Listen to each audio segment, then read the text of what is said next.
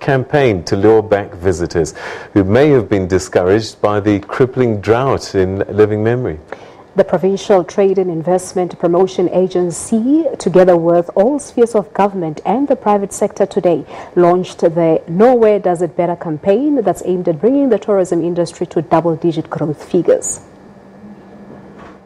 Cape Town is world renowned for being one of the top tourist destinations, of course, uh, boasting Table Mountain and the natural splendor uh, of the Western Cape as well over the past few years and specifically last year.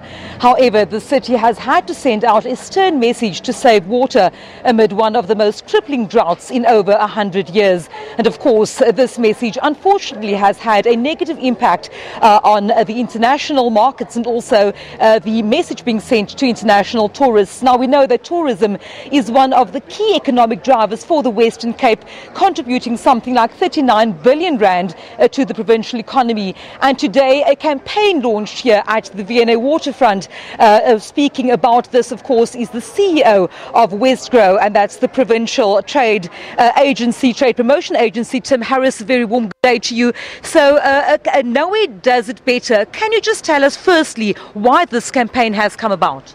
Well, as you mentioned, the messaging around the drought was very effectively disseminated around the world. It created the impression that we were in a crisis that was affecting the tourism destination. And what that did is it saw a drop off in our tourism numbers from major markets over the past few months.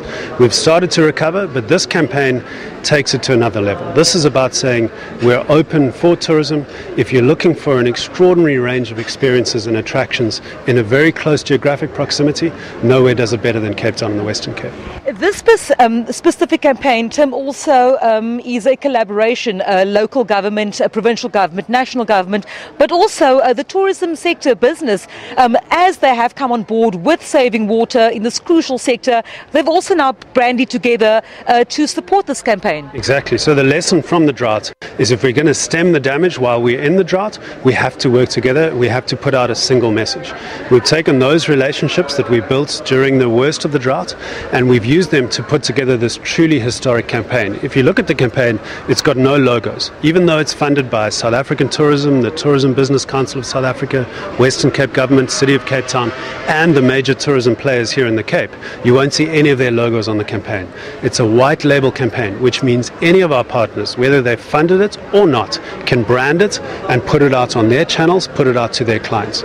So it's a, it's a historic campaign in that it provides a single voice for the whole destination. Whether you're, whether you're a government player or a private sector player, put this message out about how nowhere does it better than Cape Town and the Western Cape. And of course, the iconic Table Mountain is one of, is the feature, um, the iconic feature being used as part of this campaign now. Yeah, one of the things you realize when you market a destination globally is there's a lot of beautiful content out there, but there's a few places where when you glance at the Eiffel Tower or you glance at Paris and you see the Eiffel Tower in the corner, you instantly know that it's Paris in France. We're fortunate in the Cape to have Table Mountain. It features in all of the collateral, all of the prints, every single bit of uh, campaign material around Nowhere Does It Better features Table Mountain. That means if you look at it, even for a split second, you know that we're talking about Cape Town and the Western Cape. The other historic element is the fact that there are no logos on it. All it says is Cape Town and the Western Cape, and then it's up to our partners to brand it and put it out to their markets. We think that means that the 13 million rand we raised to drive the campaign will be significantly boosted by other players taking the collateral and putting out this single message. I've spoken to David Frost a short while ago from SATSA, and he was saying that as a country, South Africa needs to increase international arrivals, for example, to double digits. Um, what is it that the Western Cape specifically, um, what kind of growth is the Western Cape and Cape Town looking for um, as part of this campaign?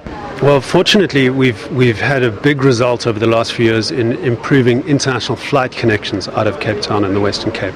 Cape Town International's had 13 new non-stop flights, 18 route expansions, about one and a half million new seats into and out of Cape Town International each year. Um, so we've transformed the airport as a connectivity hub into the city, and that's helped drive airport arrivals by double digits over the last three years. Even through the drought, we experienced strong growth in international international tourist arrivals.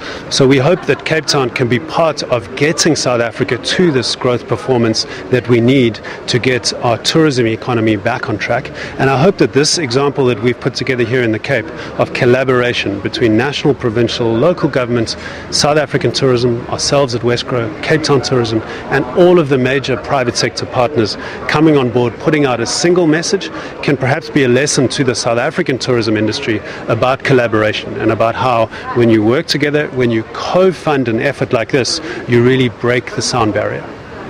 Thank you very much. Uh, Tim Harris, the, the CEO of Wesgro, of course, the Western Cape's Trade and Investment Promotion Agency, talking a bit about this uh, Nowhere Does It Better campaign. And of course, the aim of this campaign is to uh, change the mindset, change the messaging um, that may have created a negative perception uh, about Cape Town in the light of this uh, recent drought and water crisis, uh, saying that Cape Town and the Western Cape is indeed open for business.